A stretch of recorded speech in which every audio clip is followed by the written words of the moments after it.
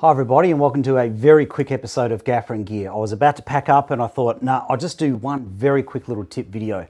So in this video, I'm going to show you a little trick I have for finding where the center of gravity is on a tube light.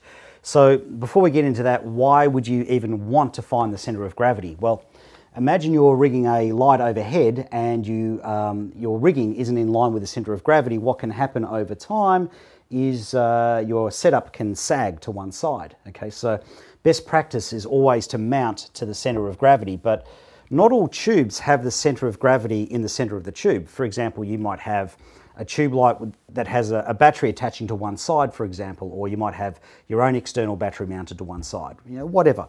So um, all of my tubes, the center of gravity is in the center, so they're not the best things to demonstrate on. So what I'm going to use is a C-stand arm because that's uh, definitely out of balance. Now this is a little trick I learned in, I think it was year nine science uh, in high school. So it's something to do with friction and gravity. I wasn't really paying attention. I was too interested in the, in the girl two rows over. But it's a little trick I, I did remember and I did learn. So uh, here's what happens. Basically, the finger that's closest to the center of gravity, that's got more weight on it, and that's going to stick to the rod. So if I move that around, the rod's going to move. And the finger that's not the closest to center of gravity, that's going to move freely. So what I do is I move my fingers in closer together and I find the center of gravity.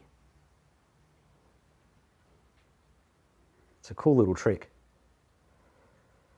There is center of gravity. How cool is that? Okay, very good little trick. Can't remember the science behind it, but at least I learned something in high school, so that's pretty nifty.